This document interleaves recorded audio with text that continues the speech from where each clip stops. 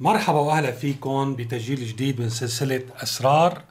الحقيقة أنا ما كنت بعرف إنه هذا بيشكل سر عند معظم يعني المتابعين. موضوع عبد القادر الجزائري بسلسلة الماسونية استعرضت كثير من الشخصيات اللي كان لها يعني مكانة ونفوذ في تاريخنا الاجتماعي والسياسي. ومنهم عبد القادر الجزائري بأنه هو كان من الماسونيين الأوائل في سوريا. هلا هو ليش جزائري وبسوريا؟ طبعا هذا الموضوع رح يجي ضمن السياق. في ناس يمكن ما بتعرف شو جاب عبد القادر الجزائري الثائر في وجه الفرنسيين المعروف المقاوم للاحتلال الفرنسي للجزائر شو جابه على دمشق؟ وذكرت في معرض الحديث في السلسلة يعني مريت مرور الكرام بأنه هو كان علاقته جيدة مع فرنسا وأنه كان يتقاضى راتب شهري منها. هذا الموضوع أثار غضب كثير من المتابعين أجتني رسائل يعني على الخاص وفي التعليقات أنه أنت كيف بتحكي هيك عن عبد القادر الجزائري. حقيقة آه هذا الموضوع يعني أنا صرت متعود عليه لأن إحنا ما وصلنا من التاريخ وما يريد أو ما يراد أن يصل إلينا وتم تغييب كثير من الحقائق. في آه نحن هدفنا مو إنه التشهير أو إطلاق الأحكام يعني حتى أنا آه كثير بكون يعني حذر في إطلاق الحكم على أي شخصية تاريخية. أنا بعرض الوقائع وبقول هذه الوقائع برأيي أدت إلى كذا ولكن أطلاق الأحكام موضوع يعني يعود لجهات أخرى وربما الجمهور من حقه أن يطلق الأحكام. ولكن أنا كصحفي موضوعي ممكن أن أقول رأيي ممكن أن يكون مهمتي محصورة في موضوع إظهار الحقائق وفقط طبعا في هذا الكتاب يلي هو يلي اسمه تحفة الزائر في مآسر الأمير عبد القادر وأخبار الجزائر صادر عام 1903 هي النسخة أصلية من الإصدار يعني الأول أعيد طباعته يعني إذا بتدوروا بتلاقوه موجود PDF بصيغة PDF بعدة مواقع وموجود معاد طباعته بالأيام يعني بال 2000 وبعد طبعا هذا بي يعني بيوثق سيرة عبد القادر الجزائري من خلال ما مكتوب اسم المؤلف. على الغلاف ولكن من خلال واضح من خلال يعني السرد والكلام إنه هو أحد أبنائه اللي كانوا معه. هو الذي وثق حياة عبد القادر الجزائري. هو عبارة عن جزئين. جزء بيحكي عن مقاومته للفرنسيين أثناء الاحتلال الفرنسي للجزائر وجزء بعد ما خرج من الجزائر وانتقل للعيش في دمشق. طبعا لا خلاف إنه عبد القادر الجزائري طبعا نحن لازم نعرف إنه بداية الحملة الفرنسية على الجزائر أو احتلال الجزائر كان بالعام 1830 آه وكانت الجزائر بهذاك الوقت هي جزء من الدولة العثمانية أو الإمبراطورية العثمانية وكان الوالي موجود بمدينة وهران. مثل حال سوريا ما كان في دولة عبر يعني التاريخ اسمها الجزائر كانت هي أيضا مرت عليها دول وإمبراطوريات في تلك المنطقة وكانت آخرها هي الدولة العثمانية قبل ما يحتلوها الفرنسيين.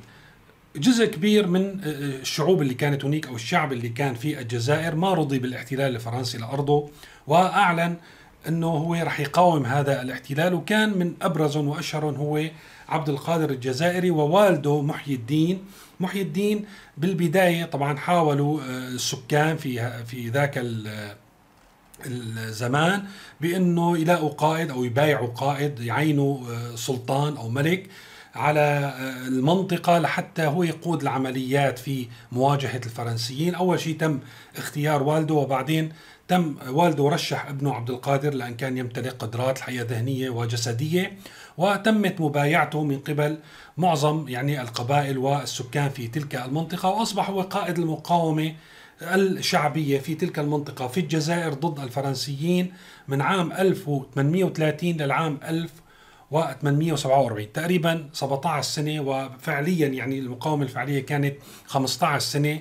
فعلا أربك الفرنسيين ويعني تسبب بخسائر لهم و يعني خلينا نقول يأس أكثر من قائد فرنسي مخضرم في تلك المنطقة. هذا التاريخ ما حدا بيحسن ينكره أو يقلل من شأن عبد القادر الجزائري في هذا الجزء. ولكن في طور آخر من حياة عبد القادر الجزائري لازم نعرف عنها بأنه هو عام 1847 استسلم للفرنسيين وسلم سيفه إلى قائد فرنسي وتم ترحيله إلى فرنسا أقام في فرنسا آه، كأسير مدة أربع أو خمس سنوات. إلى حين أتى إلى الحكم كان وقتها قبل ما يصير إمبراطور كان الأمير نابليون الثالث. آه، وعند وقت يعني أصبحت السلطة في يد نابليون الثالث. كان بيعرف بقضية عبد القادر الجزائري وطبعا كان قائد شهير ومقاومته للفرنسيين كل هذه المدة آه، تقريبا 15 سنة. كان آه، معروف في في فرنسا وفي الأوساط السياسية وفي أوروبا عموما بحسب يعني سيرته الذاتية. آه، أكرموا نابليون الثالث وأعلى من شأنه.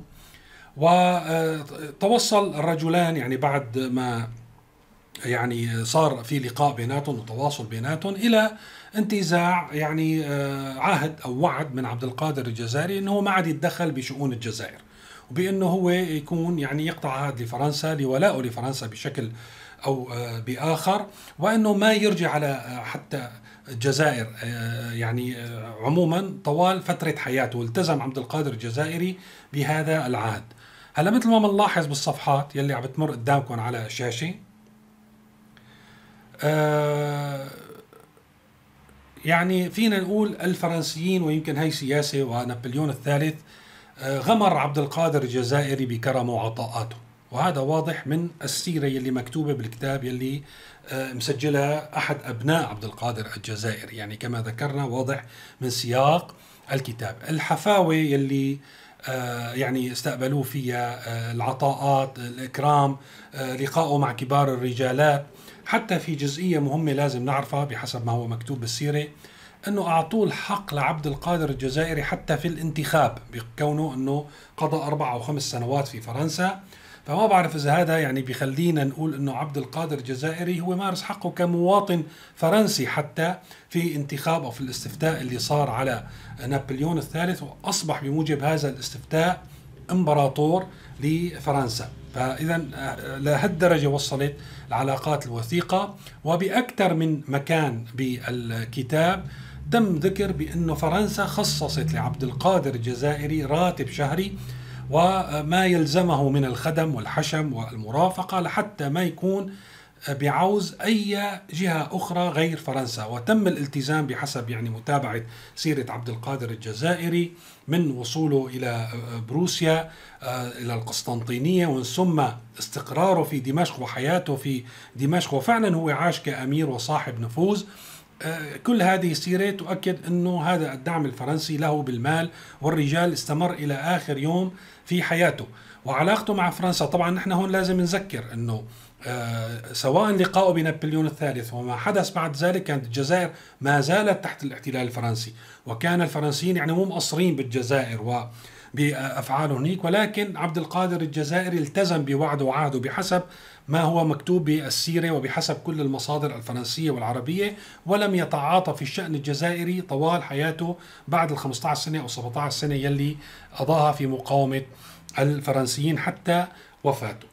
فإذا هذا الجانب مهم نحن نعرفه في حياة عبد القادر الجزائري. كان له دور كبير أيضا وهذا سبب تكريمه من قبل كثير من الدول فرنسا وكثير من الدول الأوروبية آه، الغربية. آه، صار في ما يعرف باسم الطوشة الكبرى. هذا لازم نخصص له حلقة من الحلقات. اللي صارت هي فتنة أول شيء بجبل آه، لبنان بين الدروز والمسيحيين وانتقلت إلى دمشق وأصبحت أفعال من قبل.